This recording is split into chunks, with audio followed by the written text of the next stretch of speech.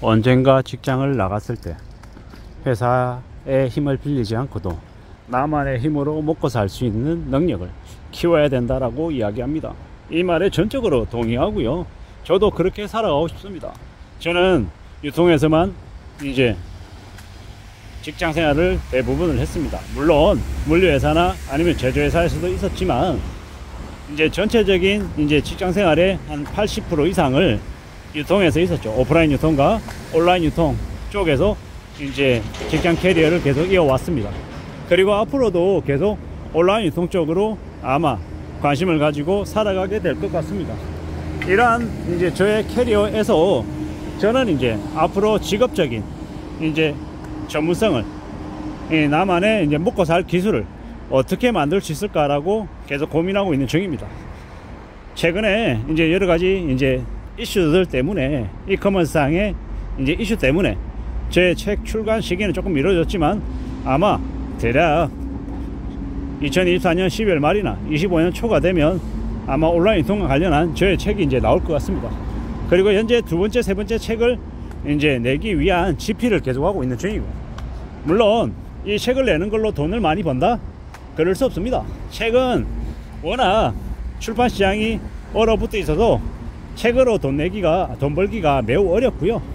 뭐 인쇄 이런저런 것들 아예 기대하기가 좀 무리다 라고 보고 있습니다. 그러면 그러면 책을 왜 쓰냐 이렇게 반문할 수 있는데 책은 제가 이때까지 살아온 저의 인생의 이 직업적인 직장의 경력의 한 정리라고 생각하면 맞을 것 같고요. 그걸 통해서 앞으로 제가 어떤 방향으로 어떤 삶을 좀 이어 나갈지를 이제 궁리하는 이제 저만의 시간이다라고 이제 생각하고 있습니다. 앞으로 뭘 먹고 살아야 되지? 어떤 영역으로 제가 좀 더 채워 나갈 수 있을까? 이런 생각들을 계속하고 있는데 잘 궁리하고 잘 따져보고 제 스스로를 좀 살펴야 되겠죠. 책을 쓴다. 그리고 사람들 앞에 나서서 이야기를 하고 강의를 하고 방향을 잡아간다. 상담을 하고 컨설팅을 하고 자문을 하고 뭐 여러 가지 이제 활동들을 할 텐데 그러한 것들을 좀 이제 만들어 나가려는 중입니다. 이런저런 여러 가지 과정들도 있고 길도 있고 잘 살펴보기도 해야 될 텐데 따져봐야죠. 챙겨봐야 돼. 무엇이 되었건 간에 좀 잘 해볼 의향이나 욕심이나 마음은 분명히 있습니다. 근데 계속 이제 만들어 가야 되고 앞으로도 잘 이제 더 고민하고 더 염려하고 더 생각하면서 다듬어 가야죠. 쉽지 않다라는 것도 알고 있고 더 어려울 수 있다라는 것도 압니다. 근데 이런저런 여러 가지의 상황들 속에서 저는 이제 제 혼자 제 이름을 걸고 먹고 살 수 있는 국리를 해야 된다라는 거죠. 그런 것들을 찾아갖고 만들어가고 이뤄 나가다 보면 또 다른 길이 또 열리지 않을까라고도 생각합니다. 지금은 지금은 제가 제, 제 스스로를 계속 되돌아보고 그래서 네가 뭘 좀 더 해야 되지 어떻게 살아야 되는 거지 앞으로 괜찮을 수 있는 게 뭐가 있을까 뭐 여러 가지로 이제 그런 부분으로 고민하고 염려하고 생각하며 지내려 하는 겁니다. 그런 것들이 잘 이제 구축되고 만들어지고 하면 또 길이 되지 않을까라고 생각하는 거죠. 이런 생각, 저런 생각, 여러 가지 생각들이 있는데 좀 잘 다듬어지고 괜찮아지면 좋겠다 라고 생각합니다. 사는 거 쉽지 않고 막막하고 두렵고 겁나잖아요. 저도 저도 이제 나중에 뭘 먹고 살아야 되지? 회사라고 하는 것, 직장이라고 하는 것과 별개로 나의 이제 업을 나의 삶의 모습을 어떻게 그려가지? 라고 스스로에게 묻고 또 그려나가려고 만들어 가려고 하니까 되게 막막하더라고요. 겁나더라고요. 두렵더라고요. 이런 생각을 저만 하는 거 아닐 거고 무수히 많은 지금 현재 살아가고 있는 중년 남성들은 더 많이 하게 될 것 같은데 어떻게 하다 보니 어떻게 하다 보니 책은 쓰고 출판을 앞두고는 있지만 아직 갈 길이 멀죠. 부지런히 계속 더 써야 되고 생각해야 되고 다듬어 나가야 되고 따져야 되고 이게 맞을지 저게 맞을지 계속 궁리하고 고민하고 걱정도 계속 하는 것 같습니다. 잘 살펴봐야죠. 잘 따져보고. 결국은 나만의 기술 나만의 무기 나만의 비법을 가지고 살아가야 될 것 같습니다. 그냥 되는 건 아니고 시간을 두고 좀 우직하게 계속 좀 쌓아가고 축적해야 되는 것 같습니다 그런 과정들 그런 길들을 겪어야 그래야 저는 또 이제 성장하고 또 넘어지고 부러지고 하면서 또 혼나기도 하면서 또 성장하기도 하는 것 같습니다. 이래저래 여러 가지 생각들, 여러 가지 고민들, 뭐 많은 것들이 있는 것 같습니다. 앞으로 뭘 하며 살아야 되지? 너는 어떤 길을 가야 될까? 잘 모르겠고, 막연하고, 두렵고, 겁나고, 많은 생각들이 이제 왔다 갔다 합니다. 나 잘 살고 있는 걸까? 나 어떻게 살아야 되는 거지? 나에게는 또 어떤 길이 열릴까? 이런저런 생각들을 되게 많이 하며 살잖아요. 제가 영상을 찍어서 올리면 어떤 분들은 저에게 그렇게 얘기합니다. 두리뭉실하게 막연한 얘기하지 말라. 어줍잖게 아는 걸로 뭐 대단한 척 까불어대면서 얘기하지 마라. 온갖 비방과 욕설과 이 조롱이 난무합니다. 근데 그런 생각이 들더라고요. 그분들이 얘기한 것처럼 제가 어설프게 알고 아는 것도 없고 한심한 얘기를 한다 할지라도 그 얘기에 그렇게 조롱하고 비방하는 사람들의 인생의 그릇은 그거밖에 안 되는구나. 그리고 어쩌면 그 사람들은 자기 자신의 삶이 자신의 인생이 그밖에 안 되기 때문에 그렇게 표현하는 거구나 라고 생각하게 되더라고 결국 내가 하는 말은 돌고 돌아서 나에게 다시 돌아오더라는 겁니다 제가 처음 유튜브 영상을 찍어서 올릴 때 어떤 마음이었냐?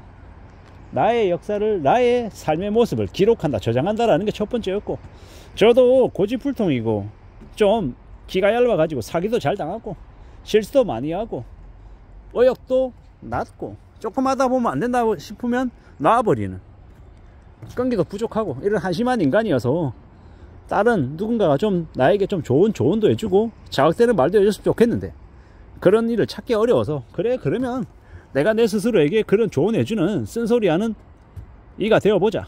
이런 마음으로 유튜브를 시작했거든요. 지금도 그러하고요. 앞으로도 살아가면서 지내면서 더 많은 고민, 더 많은 걱정, 더 많은 염려가 없을 수 없다. 계속된다라는 건 당연한 거고. 그렇게 겁내고 우려하고 염려하는 걸로 그치는 게 아니라 그래서 네가 뭘 할 건데? 그래서 내가 이 다음에 뭘 할 수 있는데 로 초점이 좀 이어져 가려 하는 겁니다 그리고 그래 그래서 네가 내가 시간을 확보해서 그 시간에 내 자신을 좀 더 괜찮게 만들기 위해서 시간 투여해서 좀 더 나은 존재로 좀 변화되게끔 해보자. 그러려면 어떻게 해야 됩니까? 시간을 들여야죠. 공부해야죠. 공 들여야죠. 남을 관찰하고 배우고 엿보고 나도 실행해보고 또 넘어지고 시행착오 겪고 바보 소리 듣고 한심한 짓도 하고 그리고 또 그 다음에 또 또 도전하고 또 도전하고 이러한 계속 과정들을 거쳐서 만들어 나가겠다라는 겁니다. 이런 생각 저런 생각 많은 생각들을 하며 잘 가보자라고 제 스스로에게 얘기하는 중입니다. 그렇게 해야 당장은 아니지만 어느 정도 시간이 지나고 난 다음에 나의 많은 것들을 나의 내공을 좀 더 키우고 독립성도 키우고 돈 버는 능력도 키워서 그렇게 또 살아가고 또 나아져 보자 라고 제 자신에게 이야기하는 겁니다 아직도 잘 모르겠고 아직도 방황하고 있고 한심하고 이런 멍청하고 진짜 어리석은 인간이 다 있나 싶을 정도로 저도 제 자신에 대해서 불만스러운 게 되게 많습니다 그러니 그러니 저에게 어줍지 않은 지식으로 알량하게 아너치 간다라고 욕 안 하셔도 제가 잘 알고 있습니다. 한심하고 모자라고 아둔한 인간이라는 걸요. 잘나서가 아니고 한심하고 아둔한 짓거리를 워낙 많이 해서 그러지 말자고 제 자신에게 얘기하는 중이고 인생을 편하게 살아왔다라고 저한테 막말하는 이들도 있는데 인생 편하게 살아온 것 같지는 않고요. 이래저래 앞으로도 살아가는 게 좀 많이 막막할 것 같기도 하고 겁나기도 할 것 같습니다. 근데 네, 앞으로 또 두고 보고 지켜보고 또 마음 굳게 먹고 살아야죠. 저는 이승용 씨라고 하는 3억 5천만 원의 전쟁을 쓴 저자의 책, 그 책을 되게 좀 마음 깊게 좀 이렇게 무겁게 받아들입니다. 10년 동안 3억 5천만 원의 빚을 갚으려고 하루에 두세 시간씩 자면서 7가지에서 9가지의 일을 했던 그 사람의 이제 숙인데 뭐 그분만큼은 아니지만 뭐 저도 인생이 추락해서 난감하고 힘들고 고민스러웠던 적도 있고 좀 안 좋은 생각을 한 적도 있고 또 지금은 거짓말처럼 남 얘기하듯이 이렇게 하고 있는데 그게 아주 먼 얘기가 아니라 2019년부터 2024년 상반기까지 벌어졌던 일이었기 때문에 참 많은 생각들이 듭니다. 이래저래 횡설수설 했는데요. 결론은 나의 직업적인 독립, 나의 먹고 살 수 있는 마스터 생존 능력을 갖추기 위해서 부단히 노력해야겠다. 나만의 시간을 가져야겠다. 뭐 이게 저의 이번 영상의 주제입니다. 이상입니다.